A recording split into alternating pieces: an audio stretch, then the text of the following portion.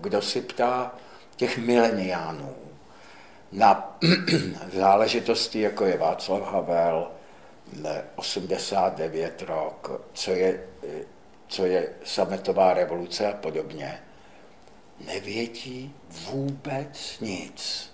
Ti lidé nevědí vůbec nic.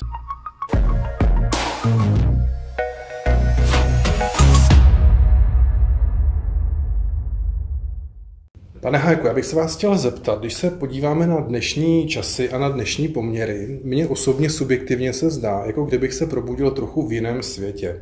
Konkrétně, myšlení dnešních lidí se odlišuje od způsobu uvažování v letech 90. nebo třeba po roce 2000, zejména teda mám na mysli období i post covidu, to po covidové.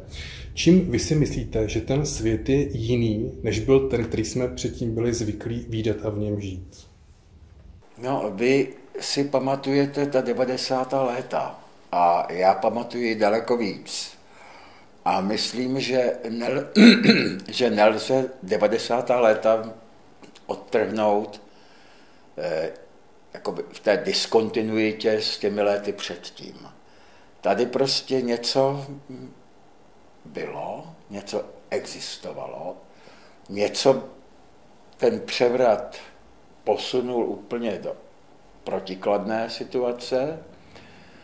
A pak následují ta 90. léta, eh, pak jsou tu ta 90. léta, která eh, mnozí vnímáme jako nejsvobodnější období, kterým jsme prošli po převratu. A pak přichází eh, nové tisíciletí, z něhož jsme ukrojili 22 a něco roků.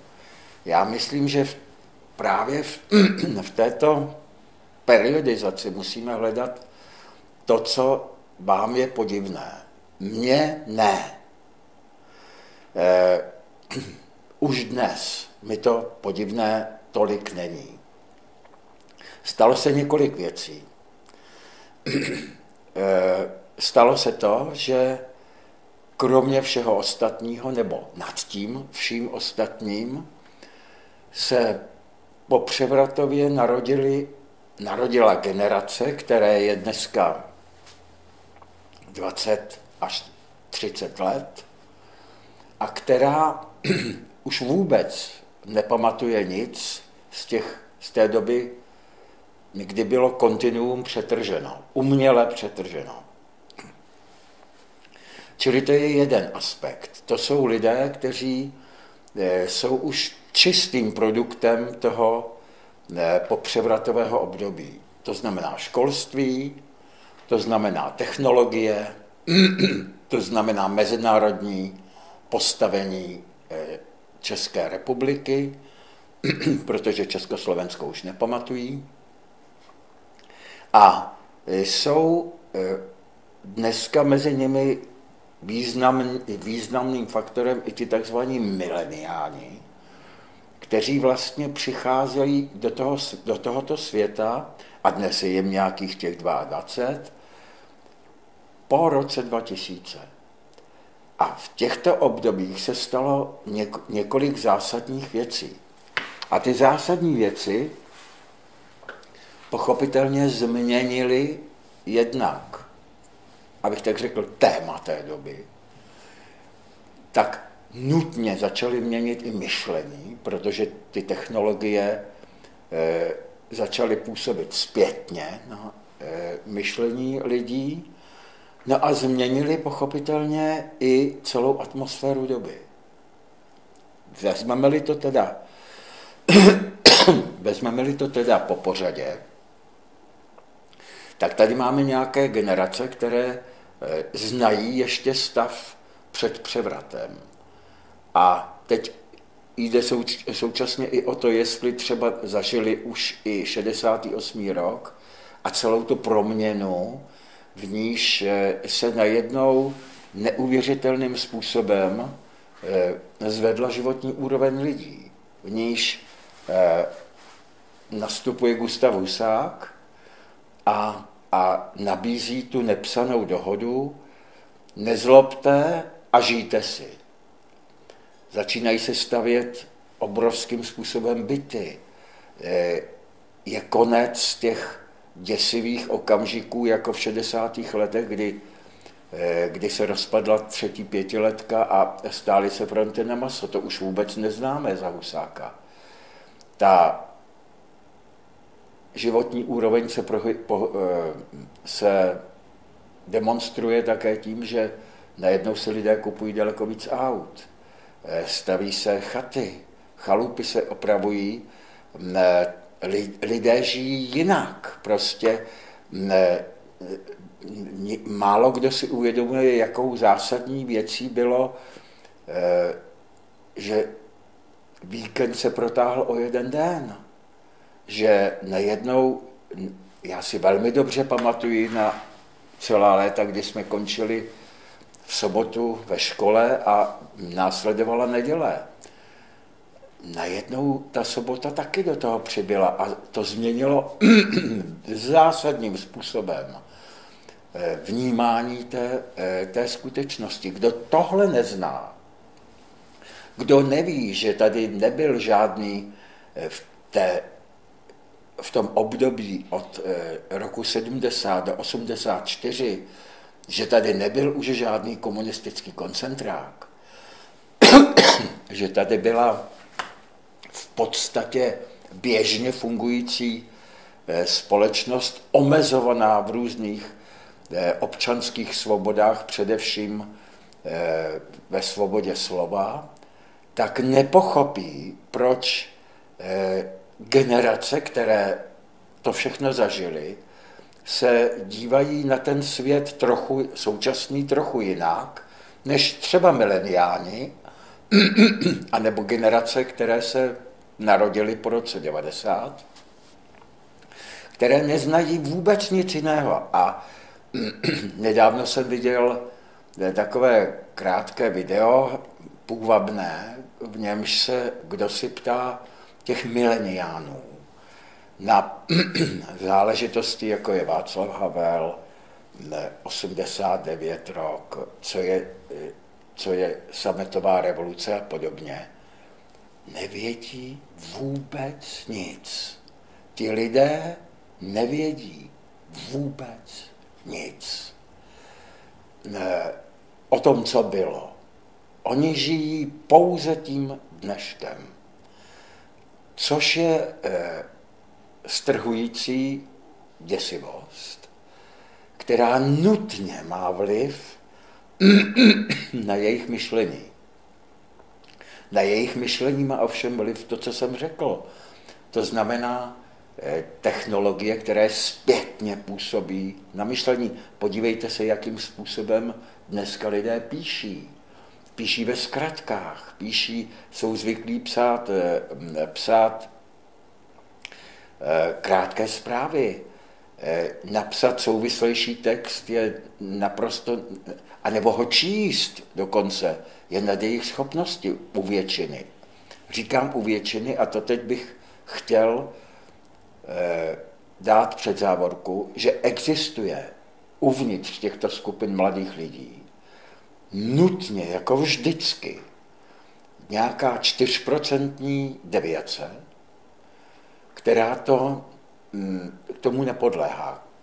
Rodin, důvody jsou různé, hlavně v rodině, nebo je to eh, opravdu samostatné myšlení těch lidí a tak dále, nebo přirozeným způsobem se bouří proti tomu, co vidí, ale ta absolutní většina, ta potvrzuje ten stav tím, co činí, tím, jak myslí, tím, jak se vyjadřuje. A e, ptáte-li se, nebo ptáme-li se na tu změnu myšlení, pak do ní musíme zahrnout také především to, co lidé vnímají.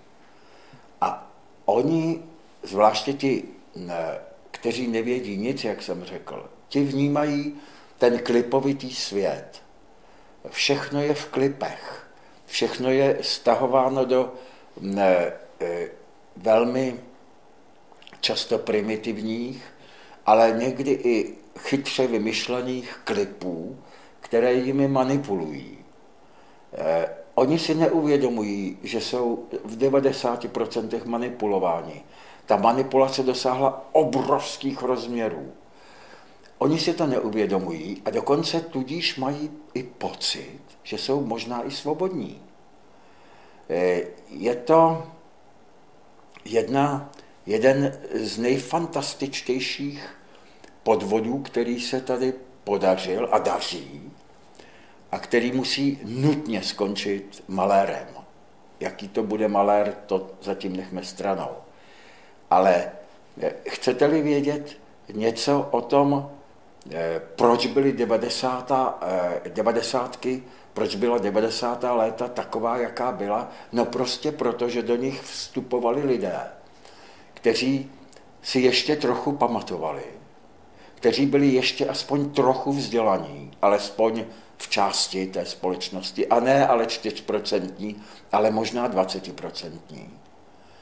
Eh, opět pomlčka, když to srovnám, eh, naši vzdělanost se vzdělaností našich otců a maminek, tak jsme absolutní analfabeti. To, co oni, kteří prošli ještě třeba gymnázii eh, za první republiky, to, co oni znali, to, co oni uměli používat, protože když něco máte uvnitř a nikoli na externím disku nebo na telefonu, tak to umíte používat, protože o tom přemýšlíte a přemýšlíte o tom dokonce nejen, když na to myslíte. Máte to v sobě, je to váš kapitál. Ten kapitál byl odebrán těmto generacím naprosto nemilosrdně a dobrovolně, protože je to pohodlnější. A cokoliv je pohodlnější, tam eh, ten člověk eh, principiálně zamíří. Eh, až na tu 4% deviaci. Čili eh, ptám-li se na to, co se stalo, stalo se to, že bylo eh, celým generacím, kterým je dneska řekněme 35, 30, 25, 20, odebráno myšlení. Odebráno myšlení. Nebo alespoň jeho báze, jeho základy. To, v čem se to myšlení odehrává. Já bych snad, eh, nebude možná hloupé si říci v této souvislosti něco, hm, abych tak řekl, teoretického k tomu. Uvědomme si eh, věc, kterou si naprostá většina lidí neuvědomuje. Když se člověk rodí, tak je to zázračné, ale on má v sobě již kompletně připravenou řeč. Řeč, ne jazyk. Ta struktura, která se jmenuje řeč, tu má kompletně, s tou přichází na svět. A na ní jenom potom naváže ty jednotlivé, ty jednotlivá slova, jednotlivé, eh, jednotlivé další části toho vyjadřování a vzniká jazyk, to je mateřština třeba. Ale řeč má od začátku, to je jeho majetek. A k tomu majetku řeči přispívalo v dobách, eh, řekněme, o 100, 150 let zpátky postupně i vzdělání, které bylo nakonec eh, eh, dokonce kodifikováno jako povinné. A takže eh, vznikaly celé generace lidí, které, které měly základní vzdělání, ale měli to vzdělání, měli ho v hlavách, měli ho v těle, měli ho v srdci. A na něj uměli navazovat podobným způsobem, jako navazovali předtím svůj jazyk na danou řeč. To zmizelo. Nebo mizí. Je to opravdu delegováno na ty, na ty externí disky, na ty, na ty telefony a podobně. to, co Orwell předpokládal, a já jsem tomu naprosto nerozuměl. Když jsem četl kdysi ještě v dobách reálného socialismu jeho 1984, tak jsem si s kde čím bych tam souhlasil, nebo téměř se vším.